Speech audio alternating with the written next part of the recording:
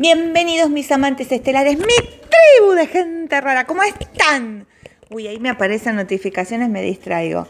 Ah, muy bien, muy bien, están mirando mi Instagram que he enviado porque se lanzó el encuentro, el 5 tengo mi ponencia, si lo ves antes del 5 de diciembre, todavía la podés ver gratuita y si no después podés comprar ese pack maravilloso de mujeres hablando de la ciclicidad femenina. No te lo podés perder, no tenés excusa.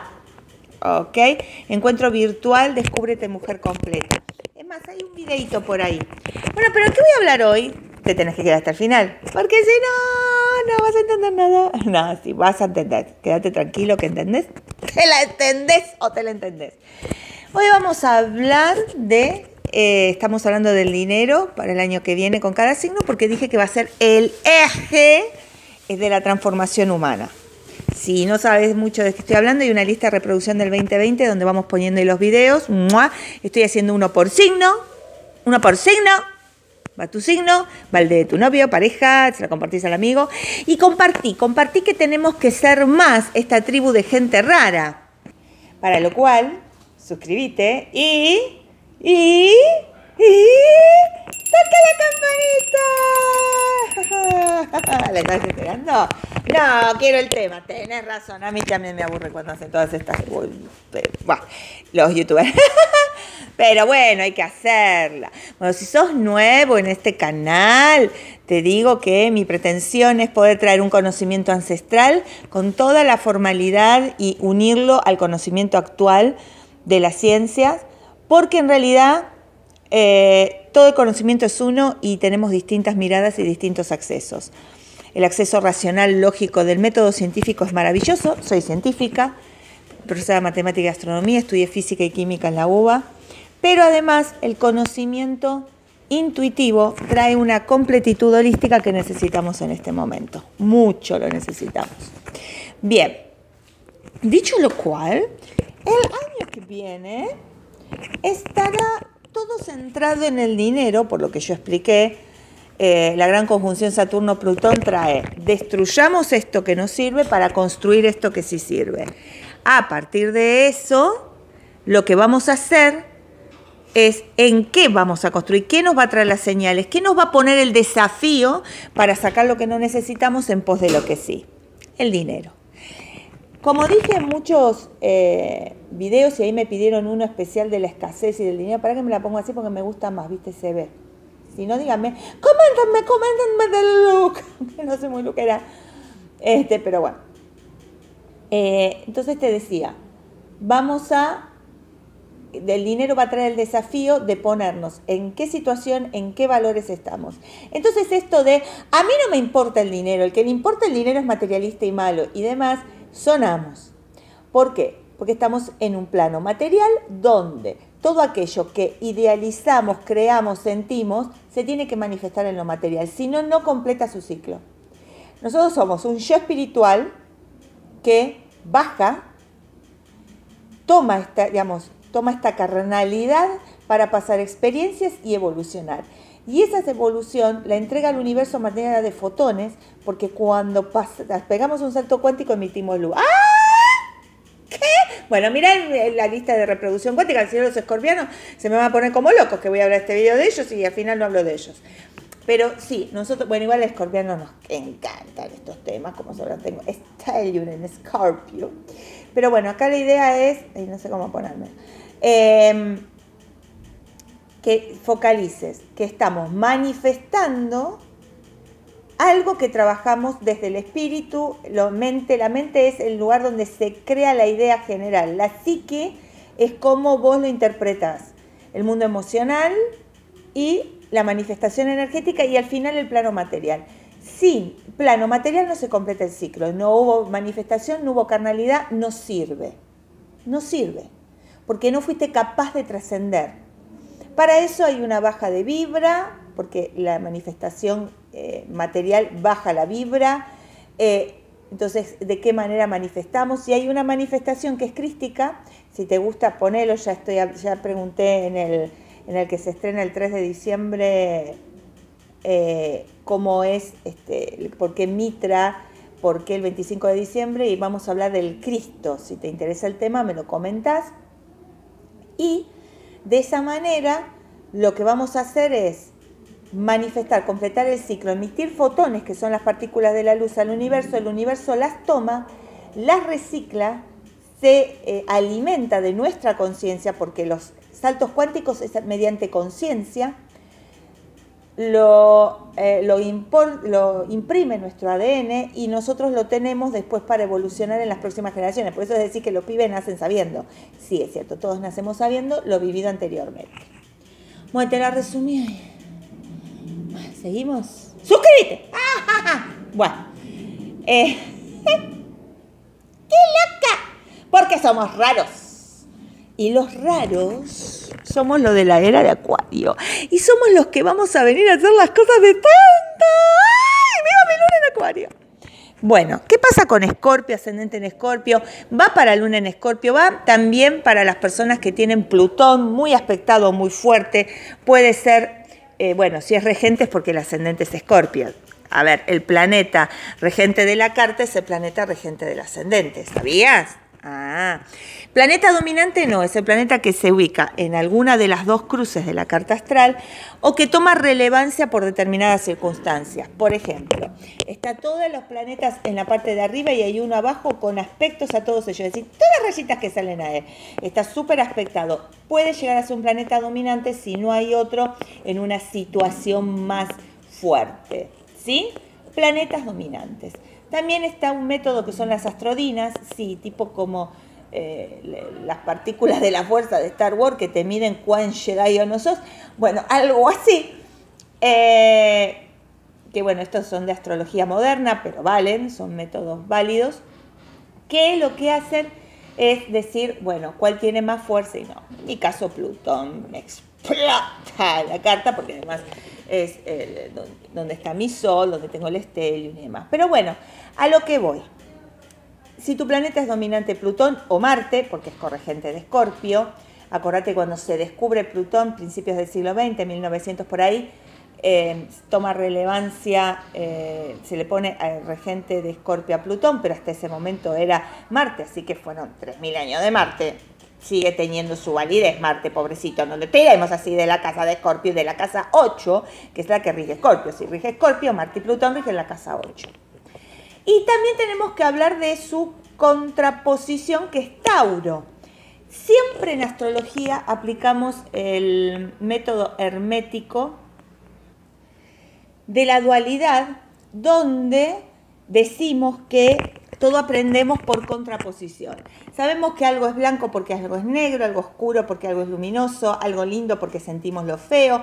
Es decir, siempre es por un método de dualidad. Lo que viene, lo que viene es trascender la dualidad. Por eso hablé de Zoroastro, ¿no lo viste? Zoroastro, bien, lista de reproducción, lo sabíamos ancestralmente. Donde, ahí también va a estar el de Mitra, si querés, avísame el ¿por qué el 25 de diciembre? Y otros tips más. Quédate hasta el final porque hay más tips de estos. Em, y bueno, la idea es eh, salirse de lo bueno o malo, entender que todo es necesario, es parte de un proceso. Yo no puedo evolucionar en una playa toda la vida abajo de una palmera. No hay evolución posible. ¿Se entiende? Bueno. Entonces, a ver, Escorpio. Ay, se me cayó algo y se me hizo ruido, perdón. Eh, Escorpio. Su contrapuesto es Tauro. Tauro va a estar en lo que es un protagonismo, porque si bien el Stellium que se viene, que comienza el año, que el eclipse va a ser en Capricornio va a ser todo en Capricornio, Urano está en Tauro y marca la tónica de dónde va a ser esta transformación, dónde van a venir los desafíos al humano para que entienda el universo de otra manera. Y va a un tema súper, supra, ultra sensible, porque fíjate que la religión lo dejó de ser, la política lo dejó de ser, ahora es el dinero.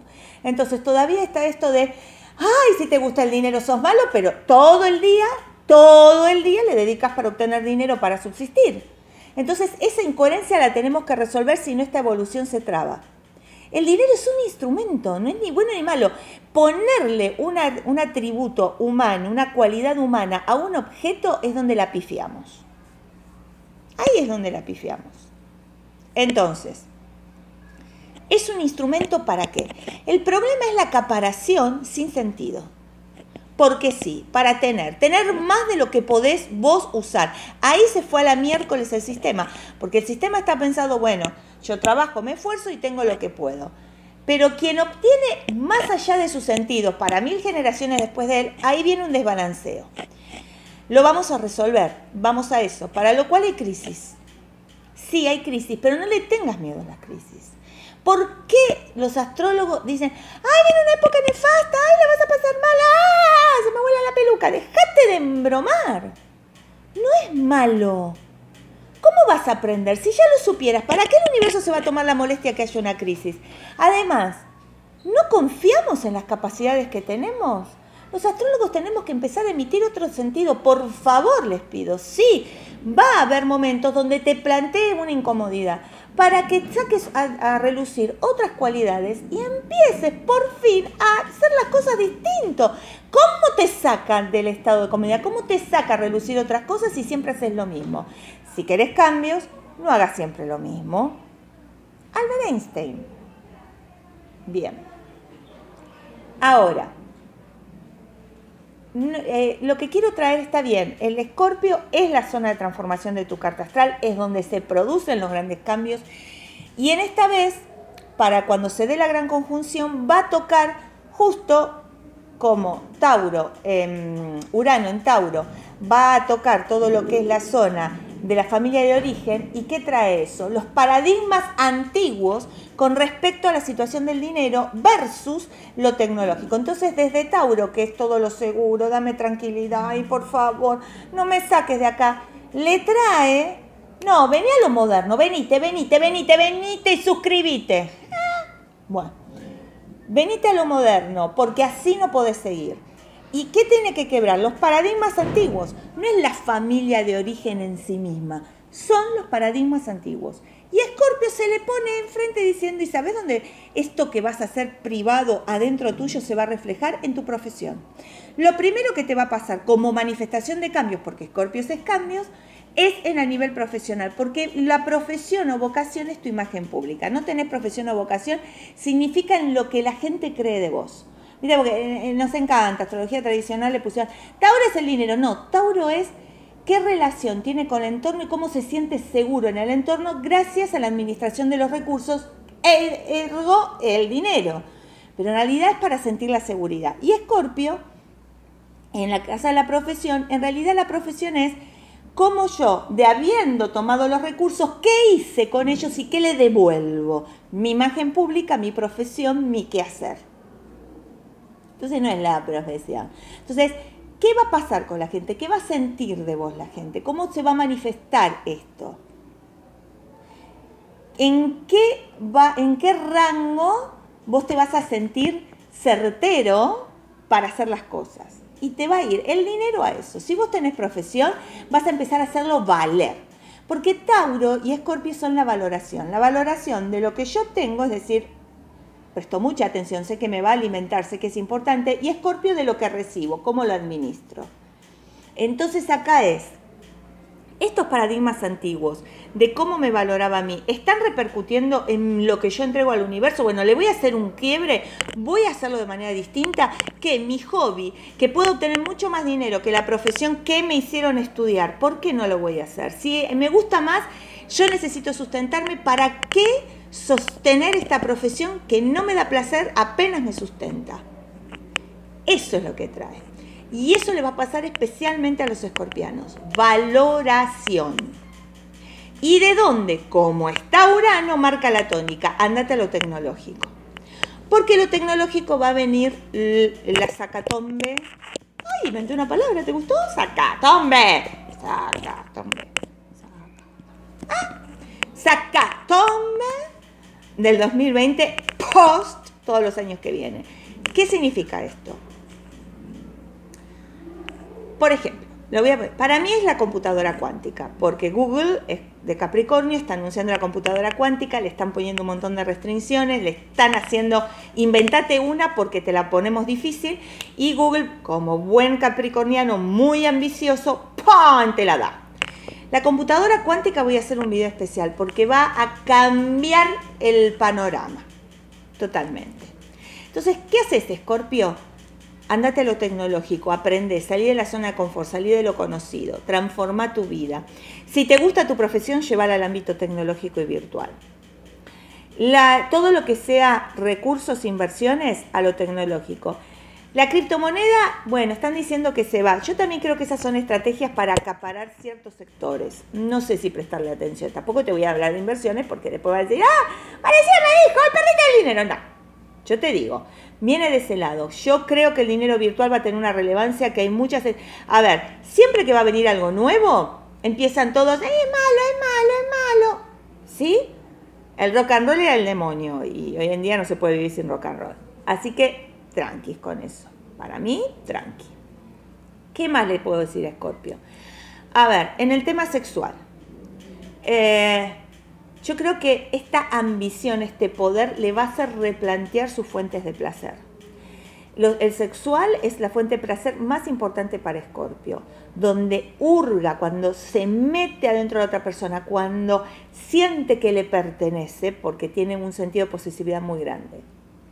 Soltar eso, genial. Y lo va a soltar en pos de sus otras ambiciones se van a comportar, digamos, hay cambios en las formas arquetípicas de los signos. Escorpio, por ejemplo, quédate hasta el final porque puedo dar de otro signo y bueno. ¿eh?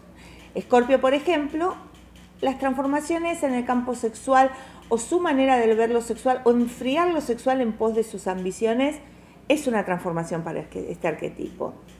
También podemos ir a la zona oscura y usar las personas a través del sexo para sus ambiciones profesionales o intereses económicos. Sí. Parejas con Escorpio, para vos, que te quedaste hasta el final. La pareja con Capricornio es el próximo liderazgo, aunque los líderes van a caer porque estamos en la era de Acuario. No va a ser en el 2020, no va a ser en el 2021, pero a eso estamos tendiendo porque así se impone la era de Acuario. Mientras tanto, pueden venir líderes pareja Escorpio-Capricornio. Con otros signos, con los signos de agua, Escorpio, que siempre se lleva bien, no sé, con cáncer y piscis, como que medio la amedrentan, salvo que sean personas que le aporten intuición, olfato a los negocios y ahí les va a gustar. Como la casa 8 va a estar en Virgo, Escorpio también va a sentir mucho orden, mucha necesidad de control, y eso también va al plano sexual. Y ahí es la liberación, yo creo que la gran palabra de desafío es soltar si realmente eso se plasma en la realidad.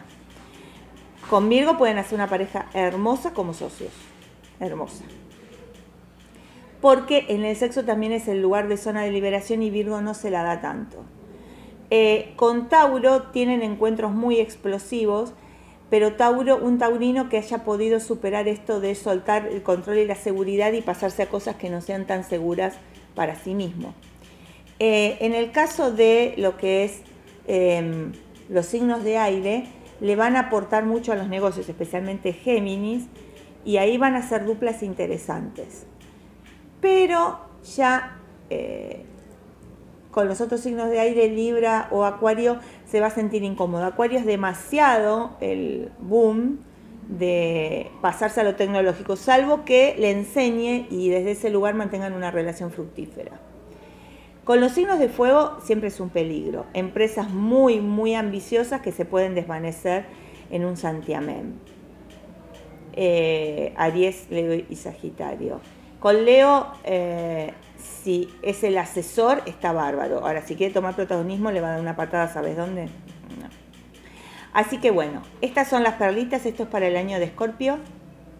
Suscríbete, toca la campanita, ya lo sabes y nos vemos y te, sugiero cosas durante el video. Dale. Ah, y anda a la lista de reproducción. ¿eh? Ah, y seguime en Instagram. Dale.